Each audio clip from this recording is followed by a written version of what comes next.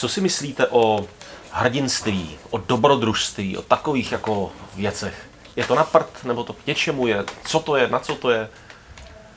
Ano, to je důležité, ale to se pozná a pomenuje zvenčí. Hrdinu poznají a pomenují ti okolo něho. On jedná přirozeně, normálně, on ani neví, že to bude hrdinství, co dělá.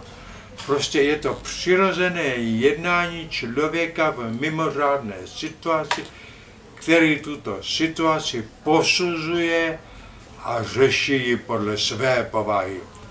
To vůbec nevnímá jako hrdinství. Víte?